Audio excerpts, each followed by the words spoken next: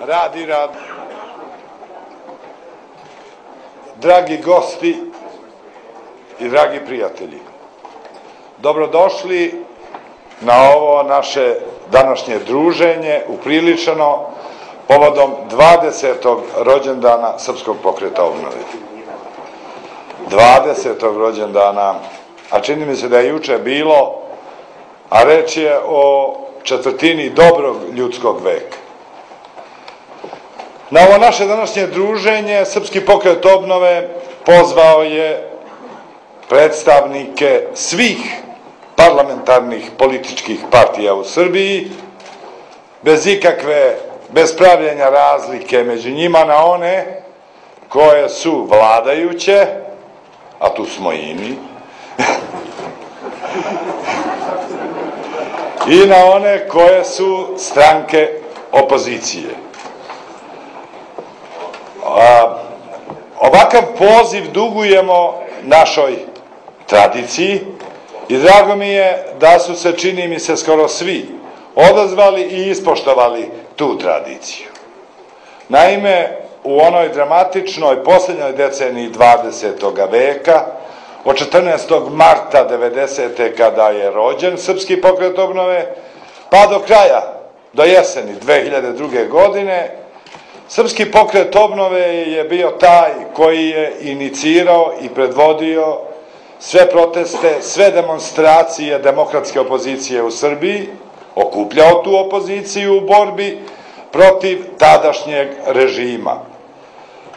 Inicirao sve koalicije od deposa prvog, drugog, preko zajedno, najbolje koalicije, pa do pobedničke koalicije DOS. Pri tome, 95% žrtava izračunali su ljudi koji su se time bavili, podnetih u toj deceniji u borbi za novu i demokratsku Srbiju podneo je Srpski pokret obnove. Istovremeno, dakle, okupljajući oko sebe demokratsku opoziciju u bici za Evropsku Srbiju, Srpski pokret obnove je zapravo okupljao i na akcije pokretao i ondašnje vladajuće stranke i vladajući režim. Uvek e, je na naš miting, tako reći, bio kontra miting, na demonstracije, kontra demonstracije, pa se može reći da je Srpski pokret obnove e, u toj deceniji okupljao i na akcije u ovom ili onom smeru pokretao sve. Druga decenija Srpskog pokreta obnove počela je kad je svanulo, kad su zvona oglasila pobedu. Neko je jednom prilikom rekao, deset godina je Srpski pokret obnove tresao šljivu, a onda kad su popadale šljive, drugi su pokupili šljive, SPO nije ostalo ništa. Nije u tome problem. Iako u ovoj doskočici ima neke simbolike i istine. Problem je u tome što je od 90. od 2000. godine Sloboda zapevala glasom koji je bio ružniji od onog glasa kojim smo dozivali slobodu i demokratiju u Srbiji od 90. do 2000. godine. Ako mi sada pošteno analiziramo šta se to desilo u ovoj drugoj deceniji Srpskog pokreta obnove koja se poklapa sa decenijom vlasti demokratskih proevropskih snaga, nećemo moći pobeći od zaključka da je točak tranzicije pregazio zapravo pre svega ljude koji u onu deceniju bore se i žrtvuju za jednu novu demokratsku Srbiju. Danas je u Srbiji najteže seljacima, radnicima, poštenom svetu, biznisa, intelektualcima, naučnicima, omladini, a da ne pominjem ko je sve na drugoj strani, na drugoj strani profitirao.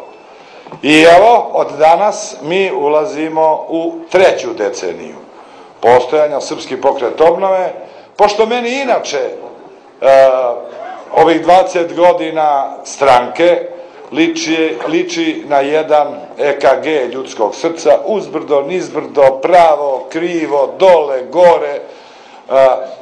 Čini mi se, i u to sam ubeđen, analitičari to već najavljuju, da sledi sada novi uspon, krivulja će krenuti uvis srpskog pokreta obnove. Ne zato što to tako mora da bude, nego zato što to traže događaji. Srbija se u ovom trenutku još uvek batrga ne znajući i dvoumeći se kuće. Ima, i to sve su snažniji, pritisci da se okrene od Evrope, da ponovo stupi u nekakve neprijateljske ili poluneprijateljske odnose sa zemljama Zapada, sve su snažniji oni recidivi nacionalne i duhovne politike iz prvog iz prve decenije iz poslednje decenije 20. veka. Vreme prolazi, ne traje ljudski život. Beskonačno Srbija kasni na putu u budućnost i zbog toga mislim da su pred nama i to veoma brzo neke nove bitke u novim uslovima, bez žrtava, bez terora i da će da te bitke neće proći bez srpskog pokreta obnove. A, opet, da se vratim na početak, dakle na nešto što je zajedničko svima nama. Predstavnici smo svih političkih partija koji su danas ovde, mogao bih reći nešto što nadam se niko od njih a, ne može, a da ne prihvati. Među nama postoje razlike, postojale su juče, postojale su danas i postojaće sutra. U tome je i lepota višestranačkog sistema i demokratije. Ali, čini mi se da ne smemo uh, zanemarivati jednu činjenicu da iznad svih nas postoji neka zajednička tačka, zajednički krov, jedna zajednička stranka kojoj je ime Srbija.